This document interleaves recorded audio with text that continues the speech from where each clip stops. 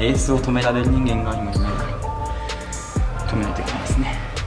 ああいうバスケットでも本当に応援に来てくれる人。いやすごいありがたいしその人たちのためにも頑張りたいです。対策なんてえいらないですよ。言いますって。人対言いますから問題ないんじゃないですか。よしよしよしよしってね可愛がってあげないと。そんな感じですね。えい。